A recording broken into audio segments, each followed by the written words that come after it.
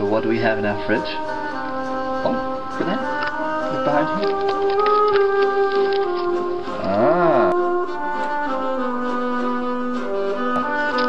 Extreme cheddar for adults early. I mean, why would any cheese be packaged like this?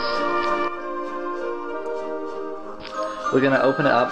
We're gonna find out what this cheese is. The description on the back is out of focus. As extreme cheddar continues to mature and develop in taste, harmless calcium deposits may form on the cheese. Mold, Ew. mold, fungus, mold, mold. Um, yeah. These are a natural occurrence as cheese matures and will not affect the flavor profile of the cheese. Okay, let's get a knife.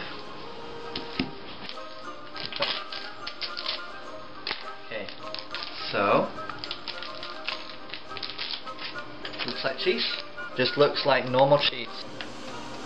It's just normal cheese. Smell that. It's just normal cheese.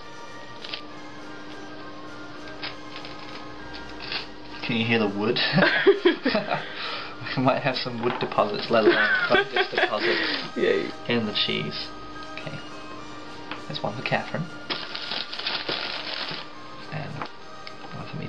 A little crumbly. It's crumbly cheese, so. Hmm.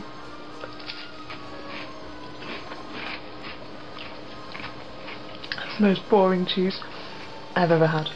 It's the most boring cheese I've ever had. Mm.